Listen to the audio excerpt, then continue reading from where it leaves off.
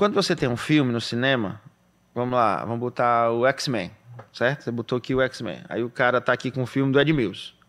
Quando ele vai colocar esse filme no cinema para tirar o filme do Ed Mills, ele não tá colocando só o X-Men, porque é um filme da Disney.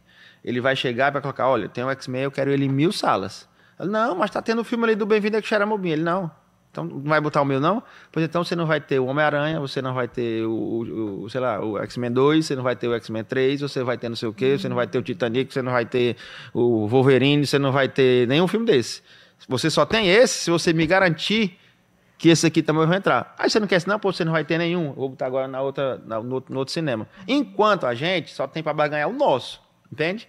Quando eu chego lá só com o meu filme, Ei, macho, bota meu filme, um exemplo, né? Bota meu filme aí. Não, rapaz, mas, mas se não botar, não vou botar o outro filme que eu vou fazer. Eu nem sei, nem sei se eu vou fazer o outro. Uhum. Enquanto ele já tem uma máquina gigantesca que ele consegue barganhar. Ah, você não vai botar isso, não? Pois também você vai perder o próximo agora, o dinossauro que tá vindo. O cara, não, mas que isso eu quero, porque o cara do outro sistema ele quer ganhar dinheiro. Uhum. Então tem uma, um descompasso mesmo quando é a palavra que tu usou, e, e, uma injustiça em relação ao cinema brasileiro, que tem que ter leis para dizer, não, cara, independente tem que ter horário. Escrever, fizeram agora uma lei, tá, mas eu quero botar no horário de duas horas da tarde. Só para dizer que tá. Quem vai pro cinema duas horas da tarde, mano? É. Aí o de seis, o de sete, o de oito e nove, o cara pega e bota o filme americano.